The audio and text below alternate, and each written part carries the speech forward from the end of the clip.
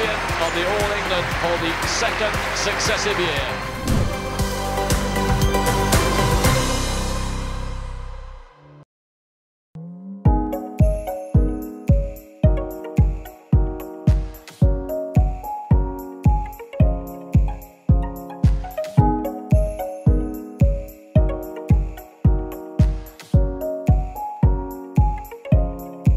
Halo konco-konco semua.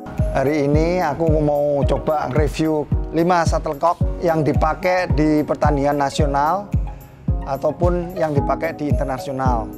Yang pertama, saya mau review kok flapover kuning yang dipakai di pertandingan sirkuit nasional kelompok umur 15 dan kelompok umur 17. Ini pakai bulu bulu bebek tipis yang dibengkokkan kalau uh, orang bulu tangkis nyebutnya bulu tipis terus gabusnya ini pakai piu sama gabus yang dipres.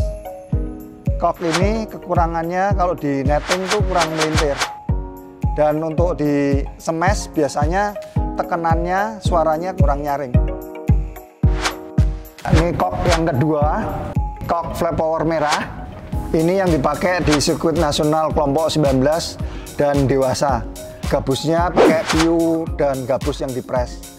Bulu bebek tebal ini buat netting sudah bagus bisa melintir dan daya tahan bulunya juga bagus.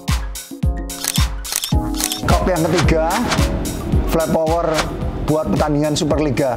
Bulunya bulu angsa tebal terus gabusnya pakai gabus kayu asli.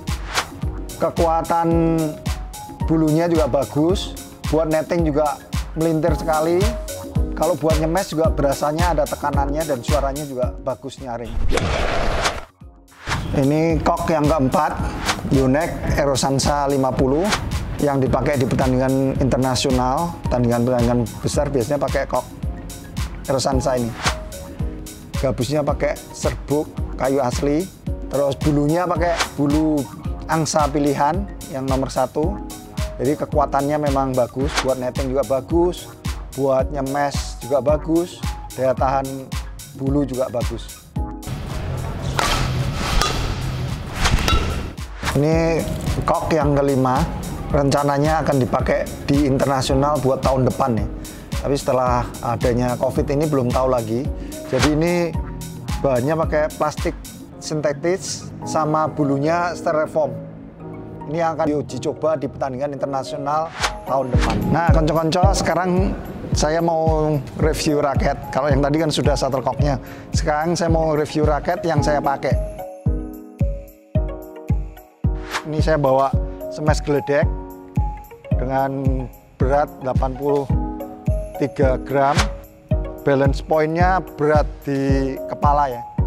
Shaftnya ini agak kaku, ini bagus buat smash dan defend. Nih senarnya nyaring.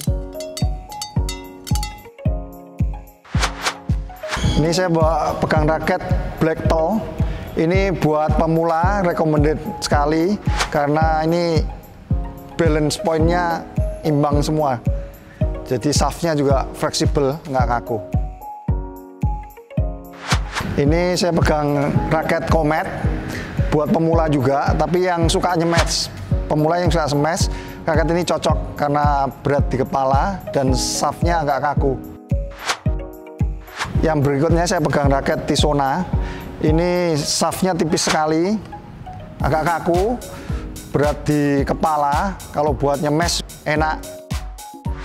Kalau ini pernah saya coba waktu saya tangan tangannya sakit, jadi saya pakai raket ultra red, ultra led karena beratnya juga ringan sekali 69 plus minus 2 buat uh, nyerang agak kurang nyaman. Tapi kalau buat defend atau buat drive-drive ini bagus. Kalau ini raket smash 100 watt beratnya itu 86 plus minus 2 agak berat di kepala karena kalau berat di kepala buat nyemes itu enak ya lebih bisa ada powernya, ada tenaganya untuk nyemes. Uh, shaftnya ini agak kaku, jadi memang raket ini difungsikan untuk yang punya tenaga besar untuk nyemes. Nah, konco-konco semua, raket Tornado 800 ini cocok buat segala permainan, baik nyerang maupun defense. Oke konco-konco, review shuttlecock dan raket cukup untuk hari ini. Kalau konco-konco semua mau review atau apa pun tentang bulu tangkis, jangan lupa tulis komen di bawah ini. Terima kasih. Jangan lupa subscribe dan like video ini.